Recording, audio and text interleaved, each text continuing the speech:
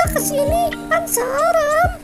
Ih, aku penasaran Mio. Dengar-dengar di sini tuh tempat konsernya udah nggak keurus.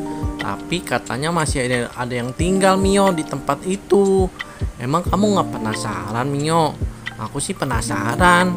Ayo ikutin aku Mio. Kita lihat ke tempat konser itu yuk. Temenin aku. Aku juga takut Mio. Kayuta takut-takut tapi tetap disamperin juga ke tempat konsernya. Gimana sih Kayuta? Udah sampai sini aja. Kita lihatnya dari luar aja Kayuta. Jangan sampai ke dalam-dalam. Kita kan nggak tahu di dalamnya itu ada apa Kayuta. Udah yuk, pulang aja yuk Kayuta yuk. Ya aku penasaran Mio Mau ngeliat dalamnya tuh seperti apa Ya tuh tempat bangunannya masih bagus begini Mio Masa iya sih nggak keurus Hah? Aneh Mio Masa masih bagus begini nggak ada yang ngurus Pasti ada Mio Pasti ada yang tinggal di sini kalau nggak ada yang tinggal di sini nggak mungkin masih bagus begini bangunannya Mio lihat deh tuh Iya deh, ya terserah Kayuta aja. Ah, Mio mah ngikut aja. Ya udah ayo Mio, kita masuk ke dalam tempat konsernya nih. Yuk, kita lihat ada apa Mio, tapi diem-diem ya. Jangan berisik. Kita takutnya ketahuan orang atau polisi, ntar kita diomelin Mio. Wah, pintunya udah kebuka Mio. Lihat tuh. Wah, keren banget tempatnya nih Mio. Lah, mendadak kok jadi gelap begini Kayuta tuh. Udah gelap Kayuta, dalamnya juga tuh. Udah gelap debuan gitu Kayuta. Tuh, lihat tuh, cuma lampu-lampunya doang yang goyang-goyang nggak jelas gitu Kayuta. Masa ini masih ada listriknya sih? Siapa yang nyalin bayar listriknya ini Kayuta? Ya mana aku tahu Mio. Ih, siapa tahu ada yang bayarin listriknya biar ini tempat konsernya nyala terus. Ayo kita lihat ke dalamnya Mio. Ini kosong nggak ada apa-apa tuh. Cuman ada lampu-lampu doang. Tapi keren loh tempatnya Mio. Lihat tuh, wih kita kalau joget-joget di sini nih keren nih Mio nih. Kita manggung di sini Mio.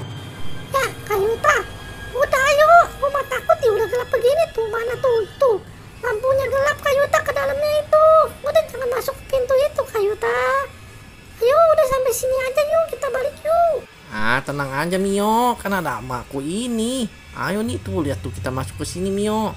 Ada apa nih di sini ya? Wah, gelap juga Mio. Hati-hati Mio, ntar kesandung jalannya. Ya, Kayuta pakai senter nggak pakai senter lagi. Mana gelap begini. Oh, Kayuta aku di belakang aja ya. Aku takut.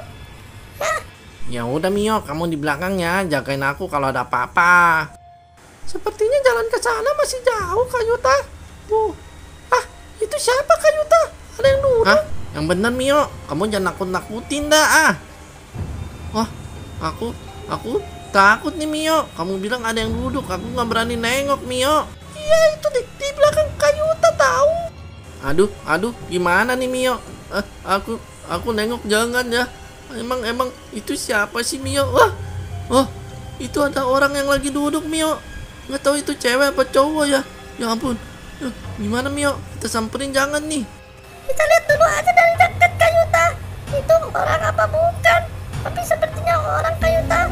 Coba, coba ditanya Kayuta. Dia ngapain duduk di situ? Iya Mio, kamu jangan jauh-jauh dari aku ya. Aduh, aku takut banget. Ah, dia nengok nih Mio. Mio, dia dia ngeliatin kita Mio. Gimana nih Mio? Mbak, Pak, permisi Pak. Bapak ngapain duduk di sini sendirian gelap-gelap Pak? Bapak penghuni di sini ya, yang tinggal di sini bukan Pak? Maaf Pak, kami cuman mampir doang ke sini, nggak ngapa-ngapain kok. Kami nggak ngerusak apa-apa Pak. Kami cuman penasaran aja sama tempatnya. Emang Bapak tinggal di sini ya?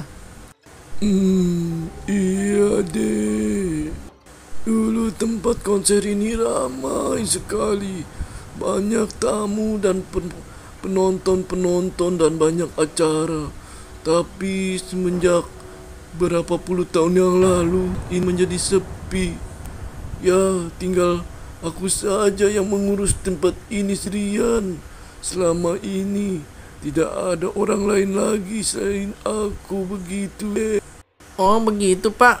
Emang negara apa sih Pak? Kok bisa jadi sepi begini tempatnya Pak? Iya pak, sayang banget ya. Padahal tempatnya masih bagus. Banyak barang-barangnya juga itu. Ya begitulah dek Semenjak sering ada yang suka nyanyi tiba-tiba padahal nggak ada orangnya. Jadi pengunjung-pengunjung sini pada takut deh. Nah sekarang dengar dede ada yang nyanyi itu. Wah iya pak Mio ayo coba kita lihat Sepertinya ada yang nyanyi di depan Mio Seperti seorang wanita Ayo Mio kita ke depan Ya Kayuta jangan ke sana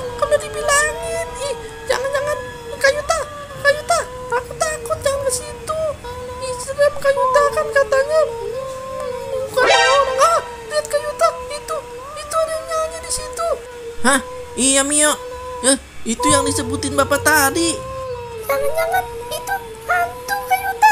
Ku, ku, ku, ku, ku, ku, ku. Ah, aku takut, aku takut Kayuta. Iya Mio, itu itu kulitnya juga pucat begitu Mio. Waduh, tapi kok dia bisa nyanyi ya? Hah? Dia nengok Mio. Lihat, lihat mukanya Mio. Ah, mu- mukanya pucat Kayuta. Pu- pucat, pucat. Hei bocah-bocah, kalian ngapain mengganggu aku di sini? Aku ini sedang mau menyanyi, tahu? Mio, coba tanya ke belakang Mio, ke orang tadi.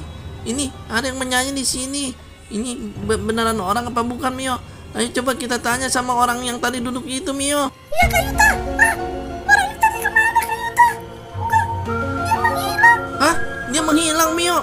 Jangan-jangan dia itu hantunya Mio. Hantu yang penjaga tempat konser ini. Berarti tadi kita bicara sama hantu Mio. Nah, jadi yang benar yang mana Kayuta? Coba kita tanya ke orang yang wanita yang nyanyi tadi. Apakah itu penjaganya, penjaga konser ini atau bukan Kayuta? Aku juga nggak tahu Mio. Ih, aku jadi bingung. Ayo coba kita ke depan lagi Mio. Tadi kan di sini ada orangnya yang duduk ya Mio. Kenapa juga tempatnya jadi terang begini lagi? Ayo kita ke wanita itu Mio. Lah, ini wanitanya ke mana Mio? Kok menghilang Mio? Aduh, iya. Ke mana nih Kayuta? Kok pada menghilang? Kok, aduh, aku jadi takut Kayuta. Hah, Mio? Itu apa Mio? Hah, itu itu hantunya yang tadi Mio. Hantu menyanyi. Ku ku si si ku kun kun kun kun kabur Mio. Hah? Aduh ini pintunya mana Mio? Gelap gelap nggak kelihatan Mio.